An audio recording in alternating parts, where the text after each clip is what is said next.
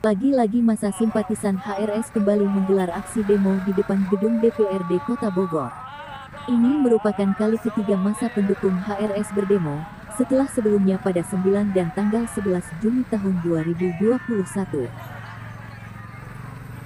Dalam orasinya, masa simpatisan HRS menagih janji kepada wali kota yang akan mencabut tuntutan terkait kasus suap RS ini yang menyeret HRS menjadi terdakwa. Pantauan di lokasi, Jumat tanggal 18 Juni masa berdatangan usai salat Jumat.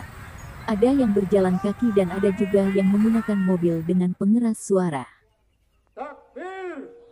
Demonstrasi ini sempat terkendala cuaca hujan yang cukup deras. Namun, masa tetap turun ke jalan melakukan aksinya.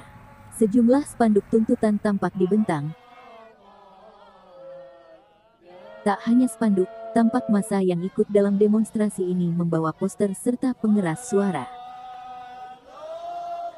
Evi Susanti Palapa TV mengabarkan dari Bogor, Jawa Barat.